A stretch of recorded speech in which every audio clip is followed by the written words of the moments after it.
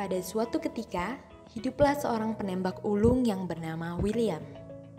Suatu hari, dirinya dihadapkan oleh sebuah tantangan yang diberikan oleh seorang raja yang semena-mena. William harus menerima tantangan tersebut atau anak sematawayangnya akan dibunuh.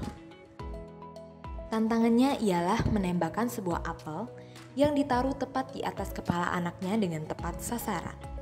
Tentunya saja, pada akhir cerita, William berhasil melakukan tantangan tersebut tanpa melukai anaknya. Namun, bagaimana jadinya apabila cerita tersebut memiliki dua versi lainnya?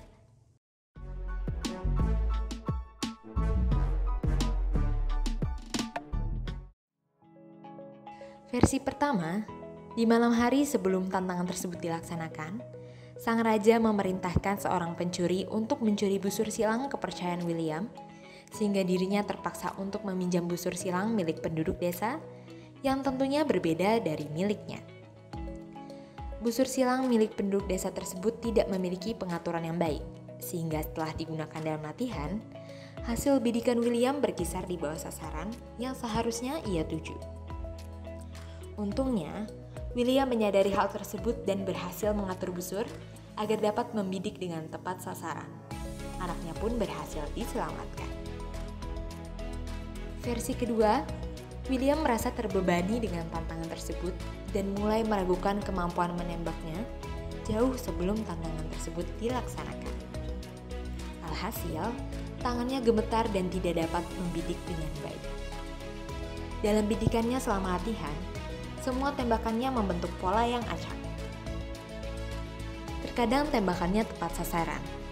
Namun, dengan tangan yang gemetar, tidak ada kepastian kapan dirinya akan menembak tepat sasaran.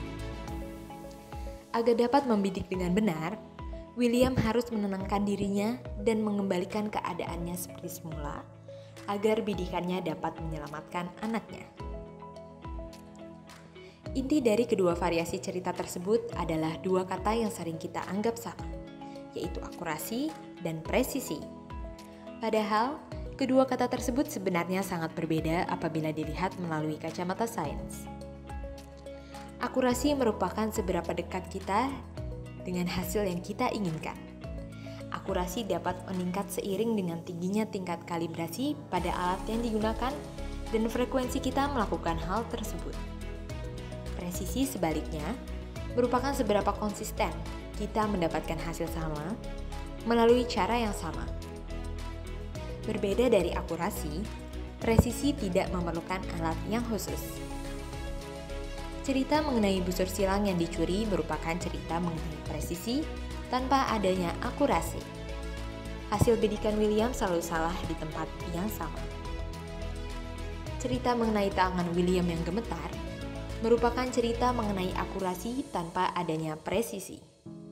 Hasil tembakan William tersebar di sekitar sasaran, tetapi tidak memiliki kepastian kapan dirinya dapat menembak tepat sasaran.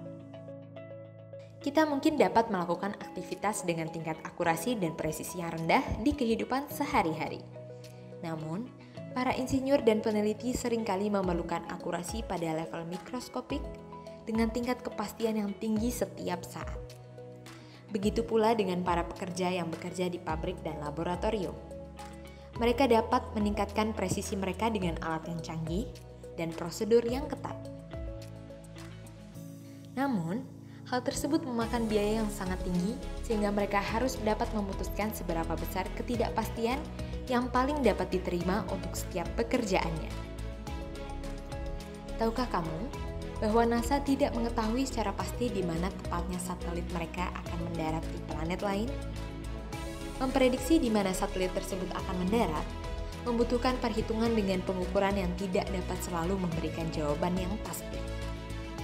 Simulasi pada komputer menjalankan ribuan skenario pendaratan yang berbeda, mencampur dan mencocokkan berbagai nilai dari sebuah variabel yang ada. Dengan berbagai pertimbangan dan kemungkinan pendaratan yang dapat terjadi, akhirnya komputer memberikan area pendaratan potensial dalam bentuk elips pendaratan. Di tahun 1976, perkiraan elips pendaratan lander Viking di Mars adalah sebesar 62 kali 174 mil atau hampir sebesar New Jersey. Dengan berbagai keterbatasan, NASA memilih mengabaikan berbagai lokasi pendaratan yang menarik untuk diteliti, namun berbahaya untuk dilakukan. Sejak saat itu, berbagai informasi baru mengenai atmosfer pada Mars meningkatkan teknologi pesawat ruang angkasa dan berbagai simulasi komputer yang lebih canggih dalam menurunkan tingkat ketidakpastian secara drastis. Dalam pendaratan di tahun 2012, Elips pendaratan lander Curiosity hanya sepanjang 12 mil dengan lebar 4 mil, 200 kali lebih kecil dibandingkan elips pendaratan lander Viking.